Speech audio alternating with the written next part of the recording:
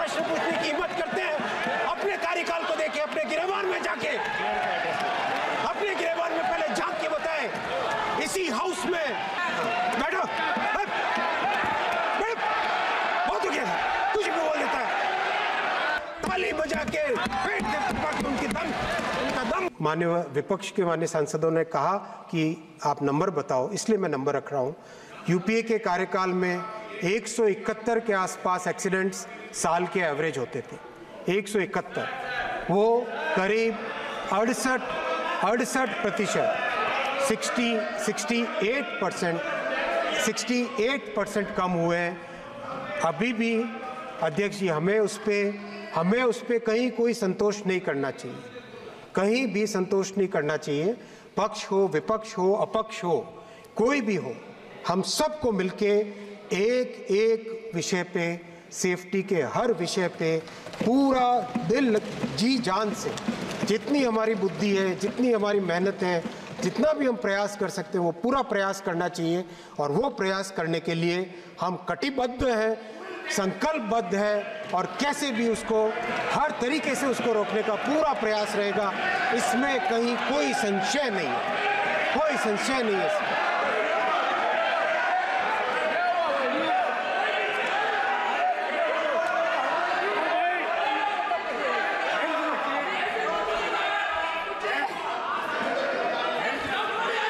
अध्यक्ष जी। अध्यक्ष जी।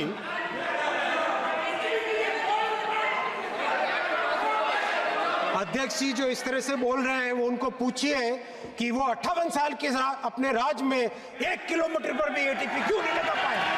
क्यों नहीं लगा पाए एक किलोमीटर भी एटीपी आज ये प्रश्न पूछने की हिम्मत करते हैं। अपने कार्यकाल को देखे, अपने गिरबान में जाके अपने गिरबान में पहले झाँक के बताए इसी हाउस में इसी हाउस में ममता जी, जब रेलवे मिनिस्टर थी, वो अपने एक्सीडेंट के नंबर बताती थी पॉइंट टू फोर से पॉइंट वन नाइन पे होने पर इतनी तालियाँ बजाते थे। आज पॉइंट वन नाइन से पॉइंट ज़ीरो थ्री इंडेक्स होने पर आज इस तरह के आरोप लगाते हैं। क्या है ये बात? ऐसे देश चलेगा क्या मान्यवर अध्यक्ष जी? देश चलाने के लिए, रेलवे की अर्थ रेलवे की सुधारने के लिए सबको सहयोग करना पड़ेगा। ये नहीं चल सकता। मान्यवर अध्यक्ष जी जब इतनी बात कर रहे हैं, मैं एक और बात करना चाहूँगा। विपक्ष के विपक्ष के कांग्रेस ने एक सोची समझी तरीके से, रणनीतिक तरीके से छोटे से छोटे विषय को अपने सोशल मीडिया की ट्रोल आर्मी के ज़रिए से इस तरह से उठाना चालू किया। अयोध्या जी के स्टेशन में, पुराने स्टेशन की पुरानी दीवार थी। वो जब थोड़ी सी उसमें डैमेज हुआ तो समाजवादी पार्टी और कांग्रेस के हैंडल्स ने उसको तुरंत उठाना चालू किया। इस तरह के झूठ से कैसे देश चलेगा मानव देखिए दो करोड़ पैसेंजर्स दो करोड़ पैसेंजर्स डेली यात्रा करते हैं। क्या उनके मन में ये भय भरना चाहते हैं? अध्यक्ष जी, मैं आपके साथ आपके समक्ष 12 lakh railway employ 12 lakh railway employ जो दिन रात मेहनत करते हैं। मैं रि, रिक्वेस्ट करूँगा आप सब ताली बजा के पेट के उनकी दम उनका दम दिखाए उनको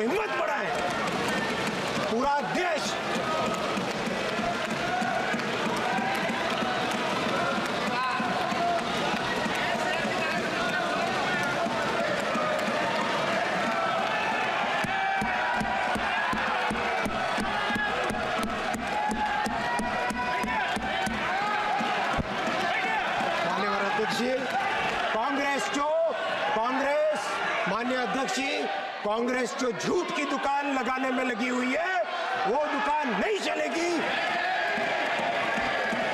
कभी ये कभी ये फौज को नीचा दिखाने का काम करते हैं और कभी रेलवे को नीचा दिखाने का काम करते हैं, ये राजनीति नहीं चलेगी अध्यक्ष जी। अध्यक्ष जी अध्यक्ष जी, रेलवे में वो ताकत है, रेलवे में वो ताकत है कि मैं आपको कहना चाहूँगा, मैं रिकॉर्ड पे रखना चाहूँगा, मैं रिकॉर्ड रखना चाहूँगा। रेलवे में वो ताकत है अध्यक्ष जी कि देश की कोई भी समस्या हो उसके लिए हमारे इंजीनियर्स हमारे टेक्निकल लोग इतनी ताकत रखते हैं कि बड़े से बड़े चैलेंज को फेस करेंगे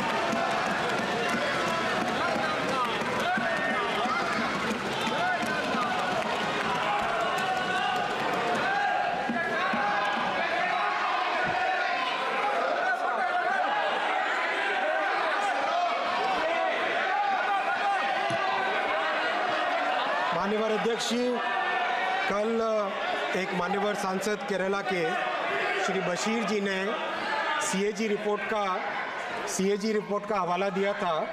हम लोगों ने, हम लोगों ने रात भर सीएजी रिपोर्ट्स खंगाली। मान्यवर बशीर जी हैं। मान्यवर बशीर जी हैं। मान्यवर अध्यक्ष जी, कल सीएजी रिपोर्ट का हवाला दिया था। हम लोगों ने रात भर सीएजी रिपोर्ट का उसको खंगाला। लेकिन कहीं पर भी हमें उसमें S C S T O B C से संबंधित कोई विषय नहीं निकला। मैं ये क्लैरिफाई करना चाहूँगा, लेकिन साथ ही साथ ये भी कहना चाहूँगा कि मान्यवर अध्यक्ष जी, मान्यवर अध्यक्ष जी, मान्यवर अध्यक्ष जी, पिछले दस वर्षों में अगर रिक्रूटमेंट की बात करें, अगर रिक्रूटमेंट की बात करें अध्यक्ष जी 2004 से 14 का यूपीए का कार्यकाल मात्र चार लाख ग्यारह हज़ार रिक्रूटमेंट इन्होंने किया था रेलवे में। और माननीय अध्यक्ष जी 2014 से 2024 में एनडीए के 10 वर्षों में पाँच लाख दो हज़ार रिक्रूटमेंट हुआ। माननीय अध्यक्ष जी रिक्रूटमेंट करने का आप चैलेंज देखिए। इस इस इस इस पूरे इस पूरे काम का चैलेंज अगर आप देखेंगे, माननीय अध्यक्ष जी।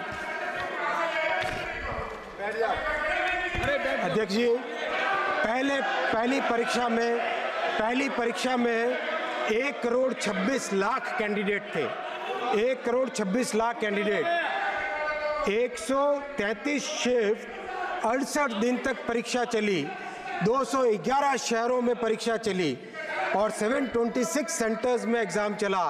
माननीय अध्यक्ष जी, एक भी कंप्लेंट उसमें नहीं। और मैं धन्यवाद देना चाहूँगा विपक्ष में मान्यवर सांसद महोदय ने पिछले टर्म में इस चीज़ को एक्नॉलेज भी किया था। दूसरी परीक्षा, एक करोड़ दस लाख कैंडिडेट थे। 99 shifts 33 days 191 cities 551 centres 15 language में एग्ज़ाम हुआ माननीय अध्यक्ष जी। नॉट अ सिंगल कंप्लेंट कहीं मान्यवर अध्यक्ष जी, इन दोनों परीक्षाओं के बाद एक लाख तीस हज़ार लोगों को रोज़गार दिया गया है और जैसे ये साइकिल कंप्लीट हुई, तुरंत हमने नई साइकिल चालू की और माननीय अध्यक्ष जी, वर्षों वर्षों से जो डिमांड थी, वर्षों वर्षों से जो डिमांड थी कि एक एनुअल कैलेंडर रखा जाए रेलवे के लिए तो जनवरी के महीने में 2024 के जनवरी के महीने में एनुअल कैलेंडर रेलवे के रिक्रूटमेंट का घोषित हुआ। हमारे नौजवानों के लिए, जो रेलवे में भर्ती होने के लिए इतनी मेहनत करते हैं, उनके लिए साल में चार बार वैकेंसी निकलती है अब। जनवरी के महीने में, अप्रैल के महीने में, जुलाई के क्वार्टर में और अक्टूबर के क्वार्टर में और इस एनुअल कैलेंडर के कारण आज की तारीख में चालीस हज़ार पाँच सौ पैंसठ वैकेंसीज एडवर्टाइज्ड है। और मान्यवर अध्यक्ष जी, मैं आपको भरोसा दिलाना चाहूँगा, जिस जिस मेहनत के साथ, जितनी डिटेलिंग के साथ दो करोड़ दो करोड़ से ज़्यादा कैंडिडेट्स का एग्ज़ाम लेके, बिना कोई कंप्लेंट के ये एग्ज़ाम कंप्लीट किया, वैसे ही आगामी एग्ज़ाम्स भी कंप्लीट होंगे और रेलवे में 40-50 हज़ार लोग ज़्यादा जुड़े मान्यवर अध्यक्ष जी किसी ने कल मज़ाक भी बनाई थी कि रेलवे के रेलवे के मान्यवर अध्यक्ष जी मान्यवर अध्यक्ष जी मैं सेफ्टी पे सेफ्टी पे जो एक्सपेंडिचर हुआ वो डेटा भी आपके सामने अध्यक्ष मान्यवर अध्यक्ष जी आम, सर बाद में जवाब बाद में ऐड कर सकते हैं। माननीय अध्यक्ष जी सेफ्टी पे 2022-23 में एट अध्यक्ष जी मैं अध्यक्ष अध्यक्ष वो है अध्यक्ष वो है। अध्यक्ष जी 22-23 में 87,336 करोड़ रुपीस का एक्सपेंडिचर सेफ्टी रिलेटेड आइटम्स में हुआ। 2023-24 में 98,414 करोड़ रुपीस का सेफ्टी पे एक्सपेंडिचर हुआ। 2024-25 में बजट में जिसका आज अप्रूवल देगा ये महान सदन, इसमें एक लाख आठ हज़ार सात सौ पंचानवे करोड़ का सेफ्टी के रिलेटेड आइटम्स पे एक्सपेंडिचर रखा गया। मान्यवर अध्यक्ष जी, किस तरह से काम कार्य पद्धति में बदलाव एक लाने का प्रयास चल रहा है, वो मैं आपके समक्ष रखना चाहूँगा। मान्यवर अध्यक्ष ये बहुत ही महत्वपूर्ण विषय है, बहुत महत्वपूर्ण विषय है। आप दो मिनट देंगे तो मैं ये समझाना चाहूँगा। मान्यवर अध्यक्ष जी, रेलवे में मेंटेनेंस सबसे ज़्यादा इंपॉर्टेंट काम है। अगर हम देखें रेलवे के अगर सौ काम है, इन सौ काम में सबसे ज़रूरी काम है मेंटेनेंस का काम। इसीलिए माननीय अध्यक्ष जी मेंटेनेंस के काम को ध्यान देने के लिए रेलवे ने अपना पूरा का पूरा कार्य प्रणाली बदली है और एक नई नई, नया सिस्टम लेके आए वो है रोलिंग ब्लॉक सिस्टम मान्यवर अध्यक्ष जी, ये रिकॉर्ड पे रहे। रोलिंग ब्लॉक सिस्टम से आगामी हर हफ़्ते, आगामी 26 हफ़्ते की प्लानिंग करके मेंटेनेंस रेलवे में आज इस लेवल पे पहुँचा है, जिसका लाभ कई दशकों तक इस इसका लाभ हमें मिलेगा। माननीय अध्यक्ष जी, अब मैं आता हूँ लोको लोको पायलट के विषय पे। लोको पायलट का विषय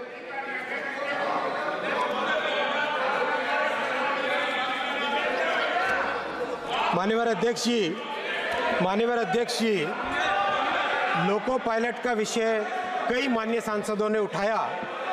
मैं आपको मैं आपको बहुत स्पष्ट तौर पे कहना चाहूँगा कि लोको पायलट रेल परिवार के बहुत ही महत्वपूर्ण सदस्य हैं और उनके लिए उनके लिए जो स्टेप्स लिए गए हैं, वो स्टेप्स आपके सामने रखूँगा।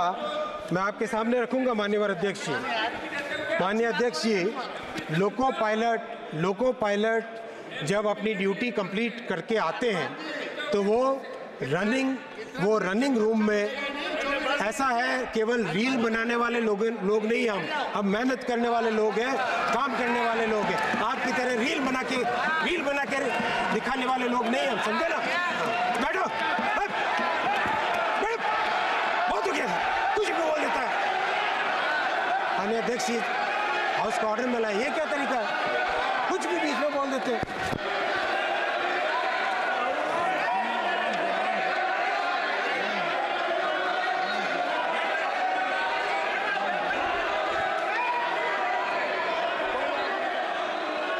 माननीय अध्यक्ष जी माननीय अध्यक्ष जी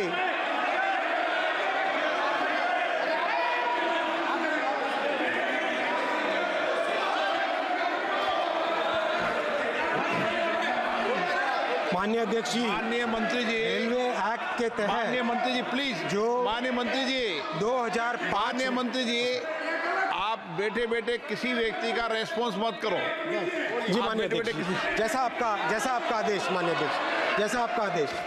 माननीय अध्यक्ष जी लोको पायलट लोको पायलट का कंप्लीट जो उनका तरीका होता है वो देश में रेलवे एक्ट के तहत बनाए गए जो रूल्स है, और वो रूल्स माननीय अध्यक्ष जी 2005 2005 नोट करना भाई 2005 2005 में बनाए गए रूल्स के हिसाब से लोको पायलट का सारा का सारा कार्यकाल तय होता है, माननीय अध्यक्ष जी। उसी के हिसाब से लोको पायलट की जो एवरेज टाइम और जो रेस्ट का टाइम होता है, वो उसके हिसाब से डिफाइन होता है।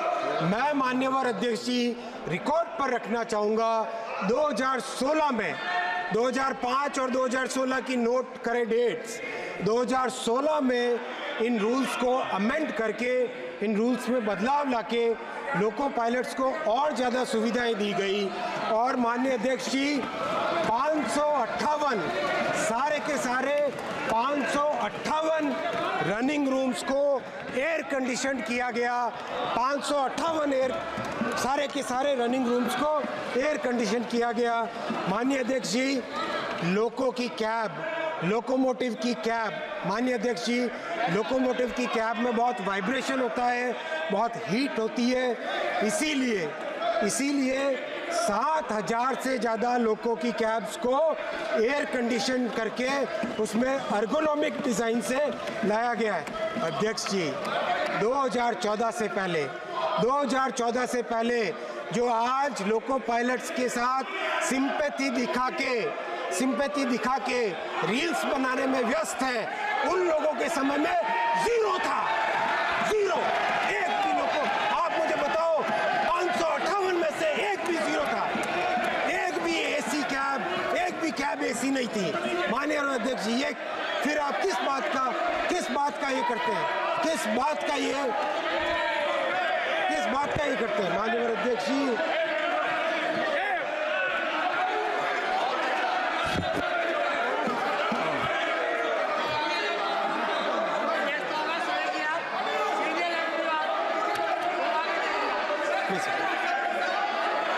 माननीय अध्यक्ष जी, मैं आऊँगा।